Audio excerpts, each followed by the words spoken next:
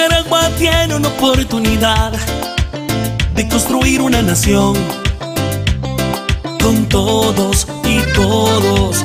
Una Nicaragua en paz, justicia y democracia que supere dictaduras tan absurdas y burdas. Que no me duela respirar. Un país tolerante en que tú puedas expresar y escoger tu futuro. Justicia no hay paz, no hay progreso social, democracia ni justicia. El poder es mi voz. Sin justicia no hay paz, no hay progreso social, democracia ni justicia. Y no te olvidaremos, el poder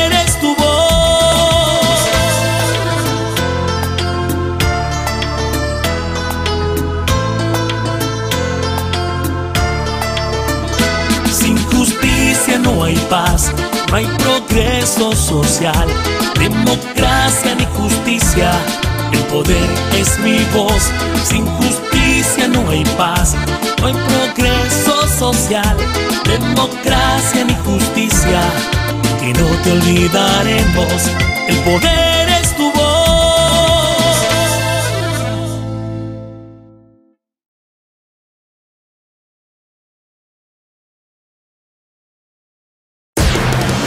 Sistema Informativo Darío Noticias.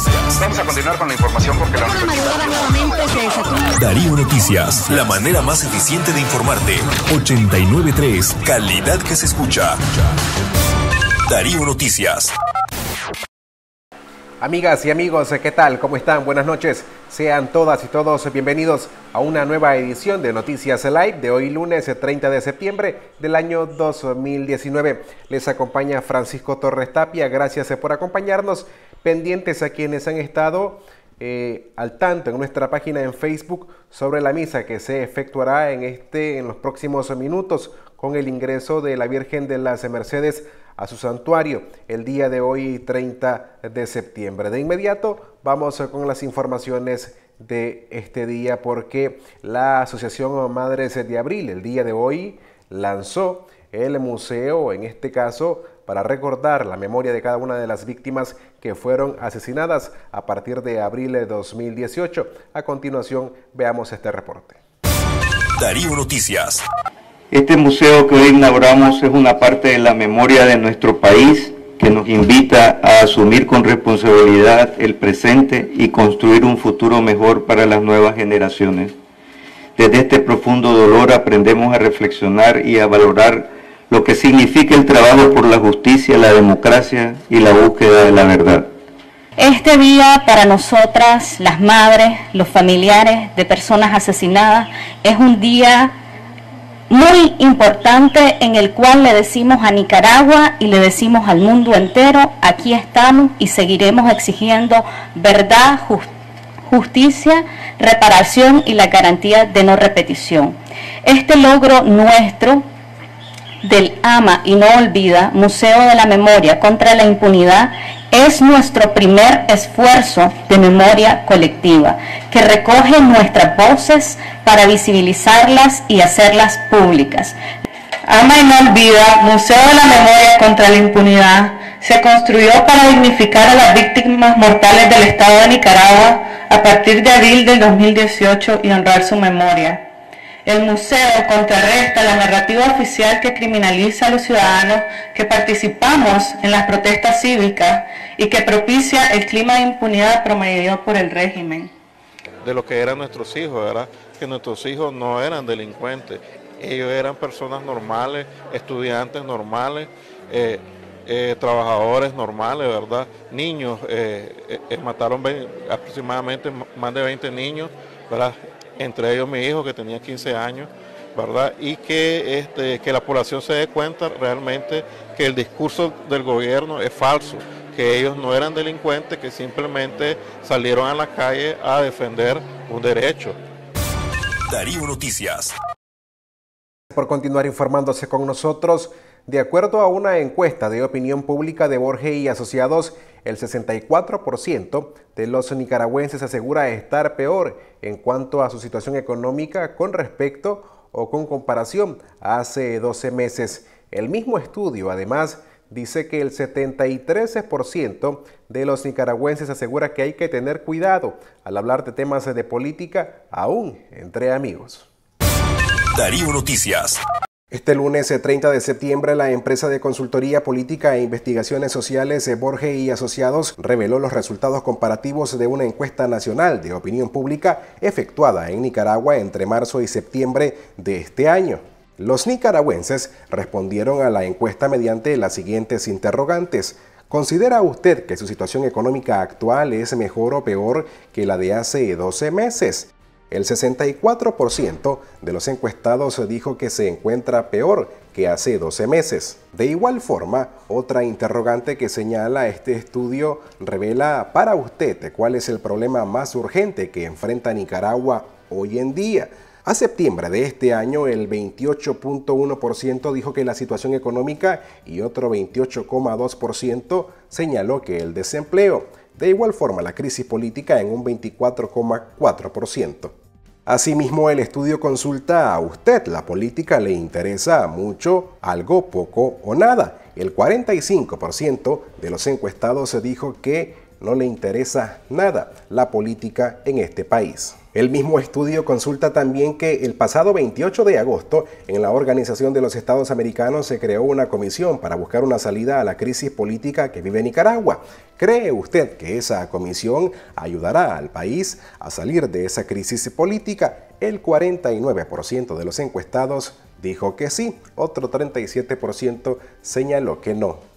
También resalta sobre la perspectiva que describe mejor a cada consultado sobre su actitud acerca de las discusiones políticas. El 20.80% de los encuestados dijo que hablar de la política es algo normal entre amigos, pero más relevante, el 73,30% dijo que hay que cuidarse de hablar de la política aún entre amigos. Darío Noticias. Continuamos informando. La Corte Suprema de Justicia, a través de su secretario, hizo llegar una carta a la primera secretaría de la Asamblea Nacional para hacer oficial la destitución del magistrado Rafael Solís, a quien en la misma Corte Suprema de Justicia ha calificado como traidor y vendepatria. Veamos. Darío Noticias. La Corte Suprema de Justicia acusó a Rafael Solís Cerda, padrino de boda de la pareja Ortega Murillo de canalla, vendepatria y de ser parte del golpismo, para solicitar su destitución como magistrado de ese órgano, trámite que ejecutará la Asamblea Nacional mañana martes 1 de octubre. La solicitud de destitución de Solís Cerda fue enviada el 24 de septiembre a la primera Secretaría del Legislativo, siendo firmada la carta por el secretario de la Corte, Rubén Montenegro Espinosa. Los graves señalamientos políticos contra Solís son los mismos con que el gobierno de Ortega y Murillo descalifica a los ciudadanos que se levantaron en protestas a partir de abril del 2018, primero contra una reforma a la seguridad social y posteriormente para exigir la salida del poder de los gobernantes mediante el adelanto de elecciones. Solís Cerda era uno de los principales aliados de Ortega, pues le facilitó mantenerse en el poder en 2011 a través de una resolución de la Sala Constitucional, la cual declaró inaplicable la prohibición de la reelección presidencial establecida en la Constitución nicaragüense. Darío Noticias. Seguimos informando. El eh, doctor Julio Montenegro, de Defensores del Pueblo, denunció la detención ilegal de Manuel Antonio Orozco, un ciudadano chinandegano, a quien se le vincula con la explosión en el puente San Isidro de la carretera que conduce de Chinandega hacia Corinto. En esta denuncia también participó la madre de la víctima. Darío Noticias. A Manuel Antonio Orozco Rodríguez hasta el momento se le mantiene detenido. Su mamá se hizo presente en la ciudad de Chinandega, se le tuvo todo un día aguardando porque siempre le decían de que el encargado del caso era Francisco Villarreal.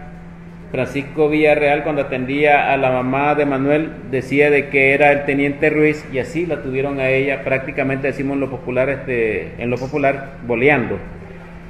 Llegó hasta la tarde y a ella no se le dio solución alguna. Estamos hablando que a este momento del día 30 de septiembre tiene 7 días de detenido cuando la norma establece que son 48 horas equivalente a dos días. Sí, mi hijo fue detenido en el relejo, venía de su trabajo, no nos dimos cuenta hasta que los compañeros nos llegaron a avisar a la casa. Pasé dos días buscándolo en el Chipote, aquí en, aquí en Managua, buscándolo en las cárceles, pues, y me dijeron que lo buscara. Un militar que me dijo que lo buscara en los hospitales o en la morgue. Yo le dije, no, no voy a buscar a mi hijo el amor, que le digo, porque mi hijo, ustedes se lo llevaron, ustedes me lo van a entregar, le digo, que no, lo vi cuando lo raptaron, se lo llevaron, pero sí, ustedes se lo llevaron, el pueblo miró, el pueblo sabe quién es mi hijo. Darío Noticias. Gracias por seguirse informando a esta hora en la noche. Ayer domingo durante su homilía, el, el obispo de Matagalpa, Monseñor Rolando José Álvarez, fue directo y preciso en el siguiente mensaje. Han traicionado a los pobres. El mensaje directamente debe de ser a quienes gobiernan este país. Darío Noticias. Cuando la ambición toca, rige y gobierna el corazón del hombre, el corazón de una persona, pareciera que se vuelve indomable, indetenible, imparable. Va cabalgando, atropellando a quien se le ponga en el camino, ya no digamos a quien represente para esa persona un obstáculo de seguir almacenando mayores bienes, de seguir acumulando todavía más bienes de los que ya tiene. Es un vicio, es una enfermedad del corazón. Han traicionado a los pobres. Han traicionado la pobreza del pueblo de los pueblos. Darío Noticias. Tras fallecer este fin de semana en la ciudad de Miami, en Estados Unidos, los restos del artista José José serán trasladados a México. A continuación, el reporte internacional de La Voz de América. Darío Noticias. José José falleció este sábado en Miami tras luchar por años contra el cáncer. Uno de los médicos que lo atendió fue Jorge Martínez, quien recuerda al conocido como príncipe de la canción como una persona amable, jovial y humilde. Un ser humano increíble y te destaco esto porque José José era famoso en el mundo entero, pero él no tenía la fama dentro. Era un ser humano muy sencillo, conversaba con todo el mundo, a diferencia de otros. Él no era de esos tipos que se aísla, que se esconde. No, no, no se sentaba a conversar con todo el mundo, daba ánimo a todo el mundo, a pesar de tener su enfermedad ya diagnosticada. El legado de este artista mexicano brilla en la memoria de muchos y en tiendas tradicionales como el Museo del Disco. Allí conversamos con Miguel Sánchez, productor musical, que le atribuye una característica muy particular a sus interpretaciones. Son letras desde el punto de vista bien romántico y otras con más eh, sentimiento en cuanto a rupturas de pareja. Todo es un tema bastante tocado en, su, en, su, en las letras de sus canciones, ¿no? Un cliente de esa tienda no pudo dejar de expresar su nostalgia. ¿Quién no se enamoró con una eh, canción de José José? De hecho, mis padres, hasta el sol de hoy, que todavía están vivos, ellos, mi padre sobre todo, él era un fan número uno de José José. En la galería de artistas del establecimiento vimos la foto del cantante venezolano Rafael El Pollo Brito y nos fuimos en su búsqueda para seguir la pista de la herencia de José José. Para Rafael, su música nunca perderá vigencia. Enseñó, yo creo que a la gran mayoría de cantantes de, todo el mundo por la manera como cantaba, la, su afinación, además que es tremendo músico, era tremendo músico, bajista también, o sea, compositor. Los restos del cantante serán velados en Miami y posteriormente serán llevados a México de acuerdo a sus deudos. Darío Noticias. Y en el departamento de Chinandega, al menos tres personas se murieron por accidentes de tránsito. Les invito ahora a ver este resumen de lo que ocurrió el fin de semana en este departamento con nuestra periodista Katia Reyes. Darío Noticias. Un jovencito de 13 años pereció al ser arrollado por un vehículo en la carretera panamericana. La tragedia ocurrió en el tramo Chichigalpa hacia Chinandega cuando Jesús Antonio Alemán Ramírez iba en su triciclo en el kilómetro 121. Alemán se dirigía a comprar chatarra cuando invadió el carril de Marvin Guadalupe Jarquín de 26 años, quien iba a bordo de este camioncito blanco. Según el médico forense Juan Bautista Carrasco, el adolescente sufrió un trauma cráneoencefálico severo más politraumatismo. Murió solo unos segundos después del impacto. El accidente ocurrió a las 7 y 20 minutos de la mañana. El cuerpo fue entregado a sus familiares, quienes lo trasladaron al reparto modesto Palma de Chinandega, de donde era originario. En el departamento de Chinandega se trata del tercer fallecido a causa de accidentes viales en esta semana. El lunes murió la comerciante Gonzala de Jesús Ochoa Navarro, de 44 años. Iba a bordo de una motocicleta acompañada de su esposo y de su hijo de 9 años, cuando el policía Rommel Francisco Cortés, de 26, quien iba a bordo de otra moto, los impactó frontalmente en el kilómetro 157 de la carretera El Viejo Cosigüina. La mujer murió en un centro hospitalario. A mediados de la semana también falleció el ingeniero capitalino Mario José Ulloa García, de 38 años. Ocupaba el asiento delantero en esta camioneta cuyo conductor perdió el control del volante y se estrellaron contra un árbol. Ulloa logró llegar con vida a un centro asistencial y murió horas después. El hecho ocurrió en el kilómetro 143 de la carretera Chinandega hacia Corinto. Además de los tres fallecidos, estos accidentes viales también dejaron por lo menos seis lesionados. El departamento de Chinandega reporta 47 muertes por accidentes de tránsito en lo que va del año 2019. Para Acción 10, Katia Reyes. Darío Noticias. De esta forma le ponemos punto final a esta edición informativa de Noticias Live.